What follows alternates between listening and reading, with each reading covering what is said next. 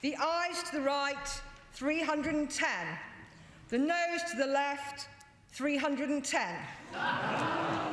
Deadlock once again in Parliament. A vote on whether to hold more indicative votes on where to go with Brexit ended in a rare tie, so the Speaker said he was following protocol in voting against.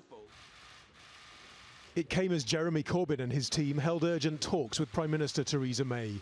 The leader of the Labour opposition went into the meeting with some in his own party demanding he seek a referendum on any Brexit plan emerging.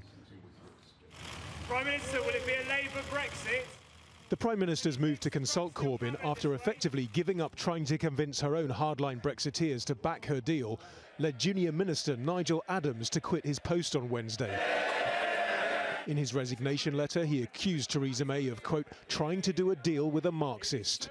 But the Prime Minister suggested it was Parliament's failure to pass her withdrawal agreement that forced her into this position and insisted her strategy could work. The, purpose of meeting with the Leader of the Opposition today is indeed to look at those areas that we can we agree on. I think there are actually a number of areas that we agree on in relation to Brexit. I think we both want to deliver uh, leaving the EU with a deal.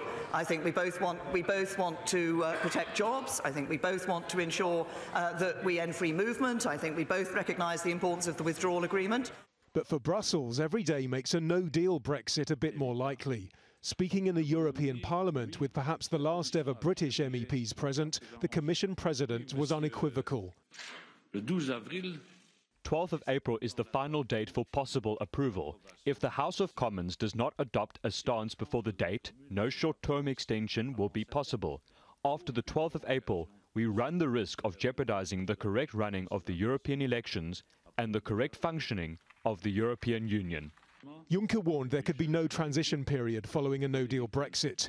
The UK would immediately become what they call a third country, with all the restrictions that brings.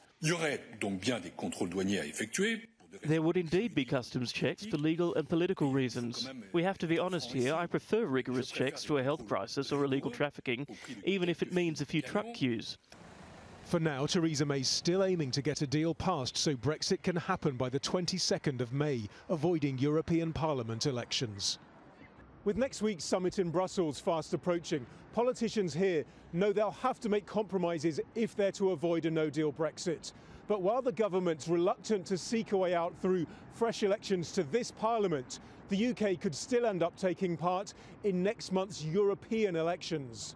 Nadim Baba, Al Jazeera, London.